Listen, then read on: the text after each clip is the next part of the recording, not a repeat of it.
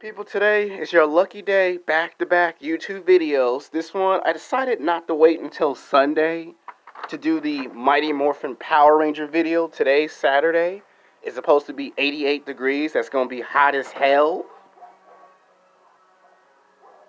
Alright, so today is going to be a very interesting video. I might put the Power Ranger video on both YouTube channels.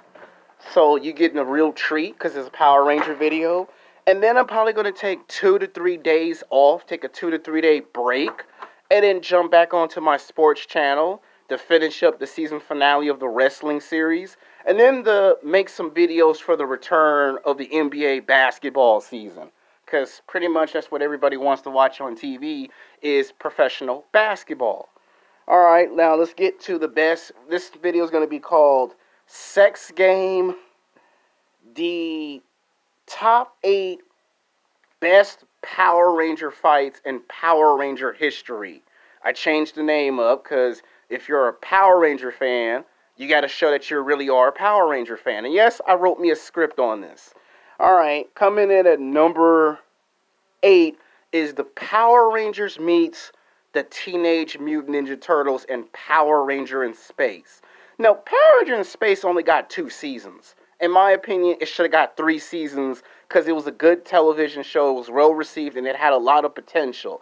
And it was like the final chapter of Zordon, the guy who discovered the five power morphers and recruited five teenagers every season to be Power Rangers to fight the forces of darkness. This was like, at the time, huge. For years and years, we had comic books and we wonder what would have happened if the concept ever happened. What would have happened if we had Aliens versus Predator, Robocop versus Terminator, Batman versus Superman, Goku versus Vegeta and Dragon Ball Z. But we got one in live action.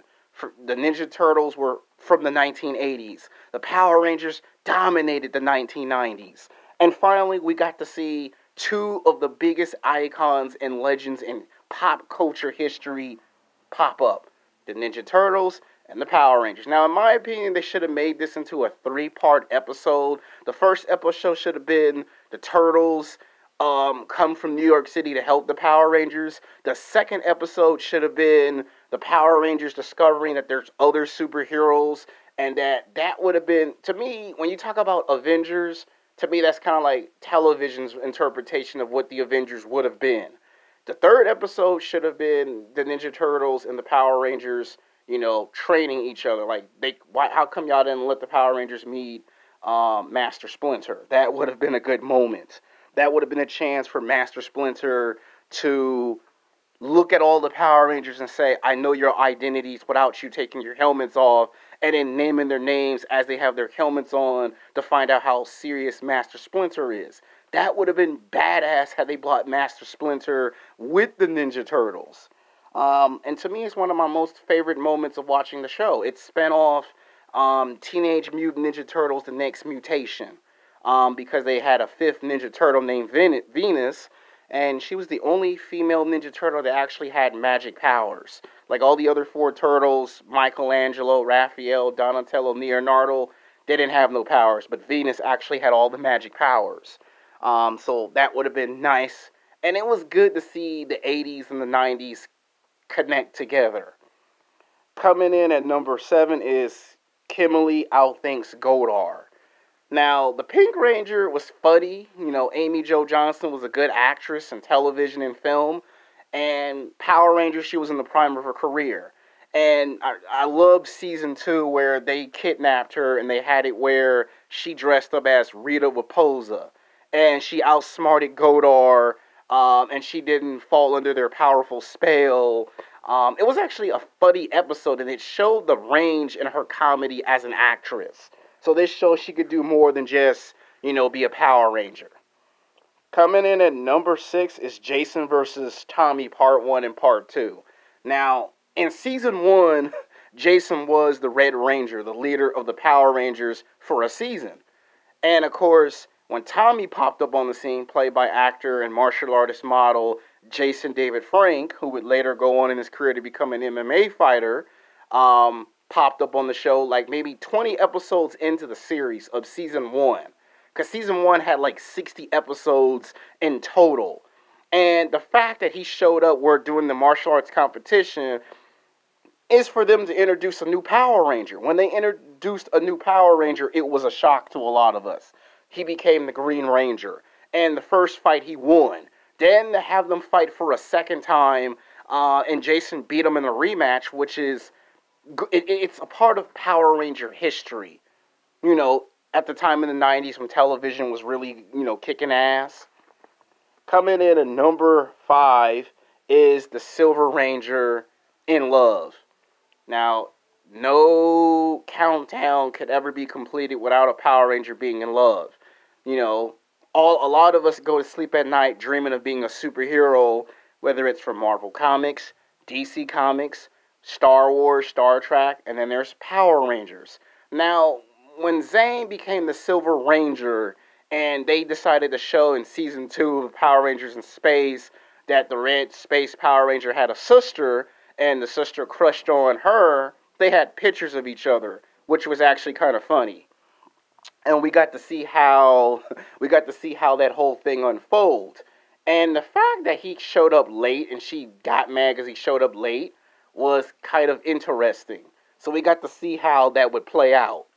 Um, of course, he was the hero. He got to save the day, and of course, he got to get the the girl. And to me, when they called him the Silver Ranger, this was kind of like they was trying to introduce a new Power Ranger, so they decided to go with the Silver Ranger, which had never been done before. He looked really cool, really badass. He reminded you of the Green Ranger because he was always having to save some other Power Ranger. He reminded you of the White Ranger because he always had the best weapons, the best robots, the best Megazords. And the Silver Ranger was like a combination of the Green Ranger and the White Ranger. Um, and it's, it's a, it's, a disappointment that they did make a season three of Power Rangers in Space. And he became the next big character to actually take over the group from time to time. Coming in at number Four is the Red Space Power Rangers um, saves the day.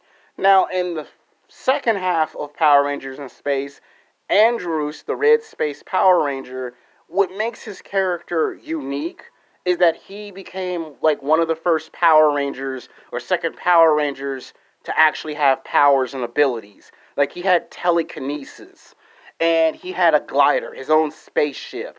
And the fact that he was from another planet and he had been a Power Ranger for 10 years, and he fought the forces of darkness and supernatural monsters by himself without no help.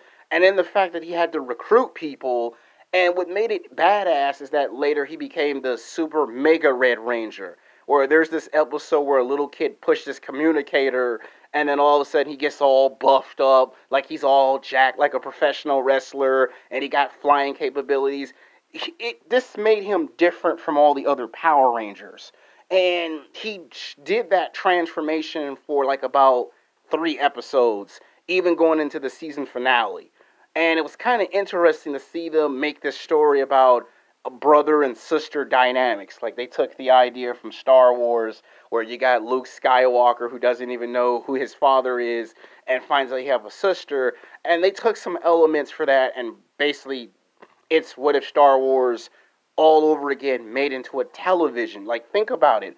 You know, what if you had a Red Space Power Ranger in Star Wars? They would probably say he has the Force on his side. So that's pretty much why that was interesting. All right, coming in at number three is TJ's the Red Ranger. Now, in season two of Power Ranger Turbo, it was the greatest moment in history. For years and years, people were complaining, how come you don't get a black guy to become the leader of the Power Rangers?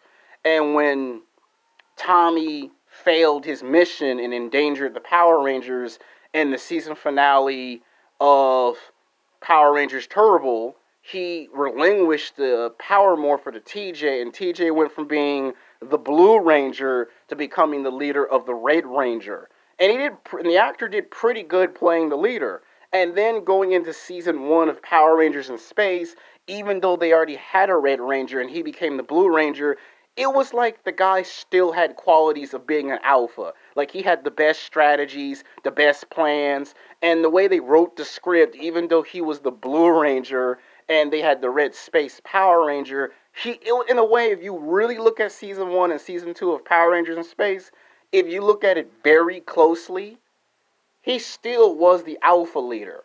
Like, if you look at that whole series of Power Rangers in Space, he's actually given the Red Ranger all the ideas, and the Red Ranger is actually listening to his ideas. Where if you're already the Red Ranger, you should be the leader. So you get the sense that characters like the Blue Ranger and the Silver Ranger are more of a leader than the actual Red Space Power Ranger. The Red Space Power Ranger is more of a fighter. He's more of a warrior in combat, where the Blue Ranger, TJ, when he was the Red Turbo Ranger back in season two of Power Rangers Turbo, he embodies the qualities of what being a leader is because in season one he learned from Tommy. So when Tommy gave him the power morpher and passed the torch to become the leader, that wasn't the first time we saw Tommy do that. We saw Tommy do that in season one of Power Rangers, where he gave his power coin to Jason, and Jason became the mega the mega Red Ranger,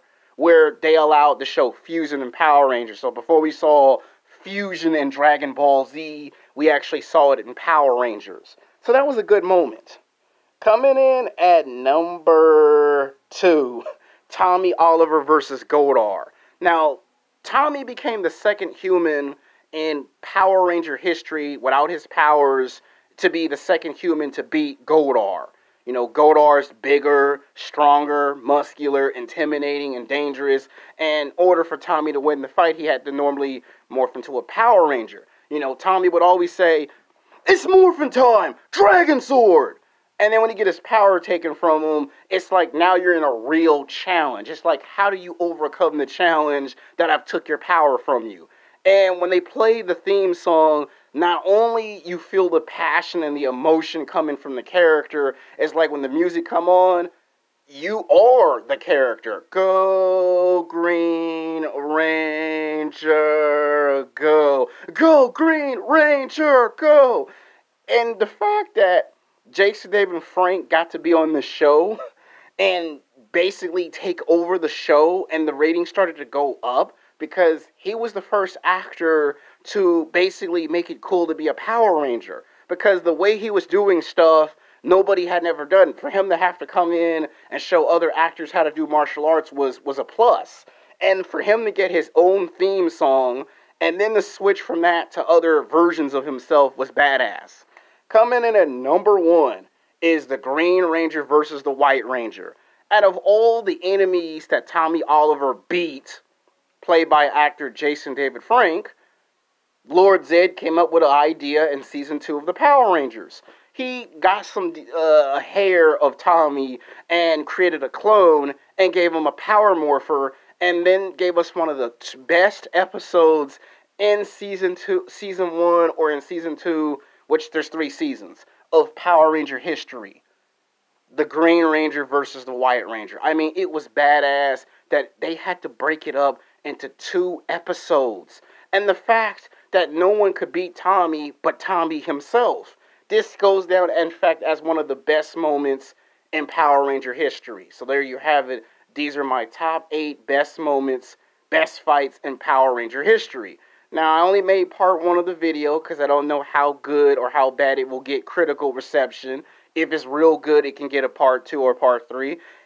If not, it just turns into a one if uh, into a one-off video. That means if it doesn't get very well received, then we don't make a part two and a part three. Today's going to be a scorcher. It's going to be hot as hell, and I don't want my cell phone to overheat and malfunction like it did um, 24 hours ago. And when I try to make copies it destroys the second copy automatically because the cell phone can't record everything. Until then, peace.